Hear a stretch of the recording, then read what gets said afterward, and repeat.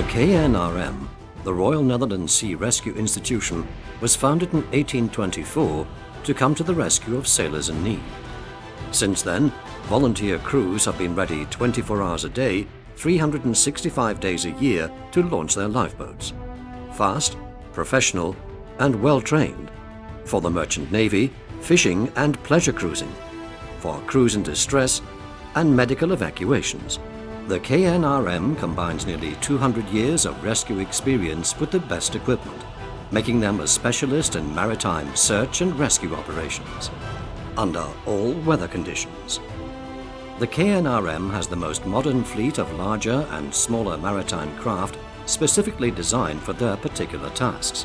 The most recent ones belong to the Ari Visser class that was launched in 1999 and that is why steps are being taken towards the next generation of search and rescue ships. Eh, een ontwerp van die Arie Visser was natuurlijk van de begin negentiger jaren. Het is toch ook alweer eh, bijna twee decennia oud. Kijken of we daar nieuwe techniek aan konden toevoegen. Plus het gegeven dat we ontdekten dat de Arie Visser een fantastisch schip is. Maar de vraag is even of in 2020 we nog steeds het acceptabel vinden dat de geluidsnormen eigenlijk te hoog zijn. Dat er toch al wat trillingen in het schip zitten. En dat met name de versnellingen of de vertragingen die, waar het menselijk lichaam aan wordt blootgesteld, ja, die zitten toch wel uh, tegen de 6, 7G aan op uh, piekmomenten.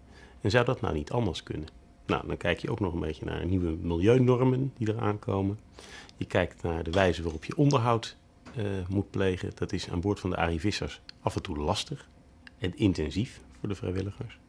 Dus al die aspecten hebben we gewoon eens op de tekentafel bekeken. We hebben zeer intensief met de schippers gesproken. Wat is er goed, wat kan er beter en wat is er pertinent fout. Ja, en dat moet resulteren in uh, een reddingboot van de toekomst. En de KNRM wil zich uh, tonen naar de buitenwacht dat wij milieu, uh, duurzaamheid, veiligheid heel serieus nemen. En de boten die we nu in de vaart hebben, die lopen op een bepaald gebied, met name op milieu, achter bij de realiteit. En dingen die op ons afkomen, ook vanwege de ontwikkelingen binnen de Europese Unie. En we willen toch die ontwikkelingen nauw volgen en bij voorkeur voorblijven. En vooral ons personeel, nou, vooral de veiligheid van het personeel en qua arbo en veiligheid zoveel mogelijk tegemoet komen. The KNRM has nearly two centuries of experience with rescue at sea and in the estuaries. The KNRM lifeboats are traditionally manned by volunteers. Many of them are skilled seamen. Their knowledge and advice is indispensable in designing a new class of rescue ships. We hebben een hele goede klasse schepen. Arie Visser klasse hebben uitstekende ervaringen mee. Dus stap 1 is geweest, laten we nou eerst maar eens kijken wat zijn de ervaringen van de operationele gebruikers met dit type. Wat zijn de goede punten, die moeten we behouden. Wat zijn de minder goede punten, daar moeten we kijken of we daar een oplossing voor kunnen vinden. In the development of the next generation of search and rescue lifeboats, KNRM collaborates with its traditional specialist partners, De Vries Lentz Naval Architects, Damen Shipyards, and Delft Technical University. Within these institutions, a long history of scientific, technical, and operational experience in maritime search and rescue is combined to develop the next generation lifeboat. Dit leek een unieke combinatie. Damen als, uh, als internationale partner met een hele duidelijke belangstelling voor uh, de klasse schepen die wij nu willen ontwikkelen. TU Delft met zijn innovatieve ontwikkelingen binnen de, op het gebied van scheepbouw. Uh, de Frieslands als partner die lange tijd ons uitstekend heeft ondersteund. En de KNRM brengt dus vooral kennis, technische kennis en ervaring. Ervaring op het water in. Delft Technical University has over 30 years of experience with fast maritime craft, particularly when it comes to ship behavior in rough seas. Wat wij heel graag uh, willen is dat ze zo lang mogelijk uh, kunnen doorvaren in zeegang. En heel veel uh, snelheidsreducties, dat betekent eigenlijk dat de boot dus niet meer operationeel is. Die zijn vrijwillig, gewoon omdat men bang is voor schade aan het schip of dat het onhoudbaar wordt voor de mensen aan boord. Dus wij proberen die redenen die daarvoor zijn, en dat zijn meestal dus de verticale versnellingen, zo laag mogelijk te houden. Zo min mogelijk pieken. En dan is de bemanning in staat om zo lang mogelijk, zo hard mogelijk door te varen. En dat is wat we hier onderzoeken. An important new feature in hull design is the X bow, which was developed by Delft Technical University. Nou, wat je ziet is dat deze is op de waterlijn dus een meter of drie, vier langer dan uh, de Arie Visser. Maar hij heeft dus ook een veel scherpere boeg met veel diepere uh, secties hier voorin dan deze boot. En dat uh, zal afzien van het feit dat hij slanker is en meer vlaktilling heeft. dat zal dus zijn gedrag in zeegang dus aanzienlijk verbeteren. The X-bow design has been applied since 2007 on fast maritime craft such as patrol and coast guard ships. These and many other types of ships are built by Damen shipyards in the Netherlands and sold across the world. Een van de uh, grootste ontwikkelingen waar wij op, op snelle schepengebied uh, mee bezig zijn geweest, zijn, zijn nieuwe romvormen ontwikkelen. Uh, heel veel van onze klanten geven aan van ja, we hebben een snel schip, maar als er wat golf staat, moet ik ontzettend snelheid terugnemen. Uh, dat speelt voor een patrouilleboot, dat speelt ook voor in de offshore. Uh, eigenlijk wil men een hogere snelheid kunnen handhaven in golven.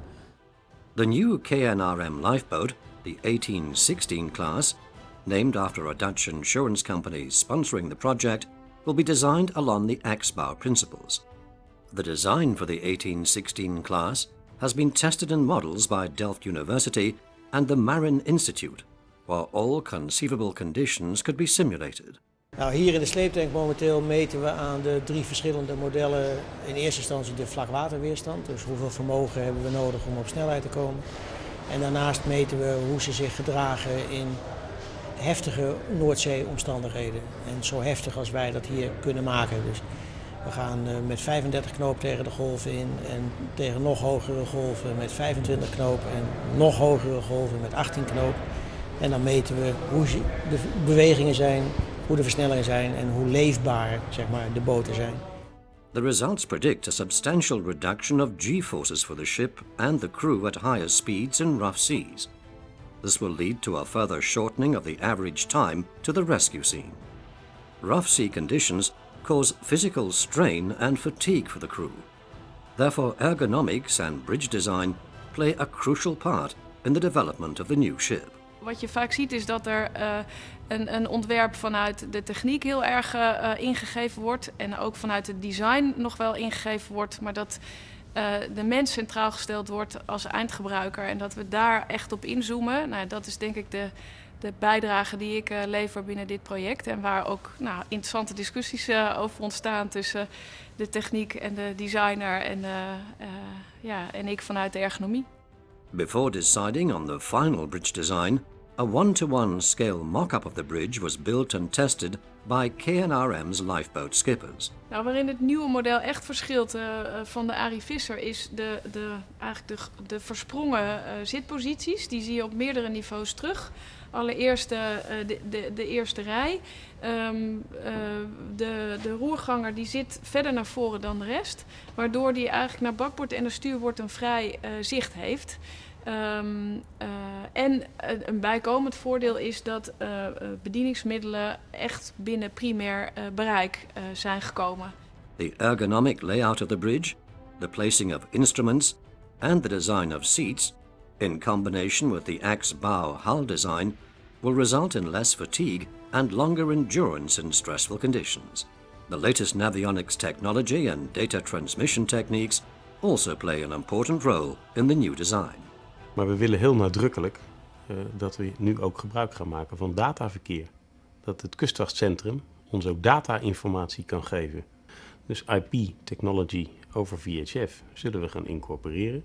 En waarom? Ja, om te voorkomen dat als je onder extreme omstandigheden naar een bepaalde positie toe moet, dat je dan by voice eerst uh, twee keer tien digits krijgt die je met een vetpotlood op het raam moet schrijven. Nee, dat de kustwacht jouw zoekgebied kan overzijnen en dat dat netjes in je plotter komt. En ook de digitalisering in de maritieme wereld en dus ook bij de reddingmaatschappij. Ja, dat zien we wel als een kans.